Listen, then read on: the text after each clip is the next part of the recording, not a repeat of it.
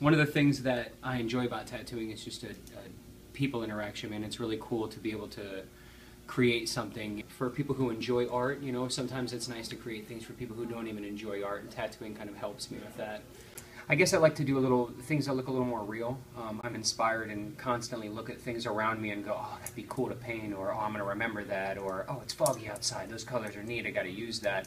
Um, so typically, I get inspired by a lot of things around me, um, keep it in my memory bank, and then somehow they end up coming out when I end up painting. So.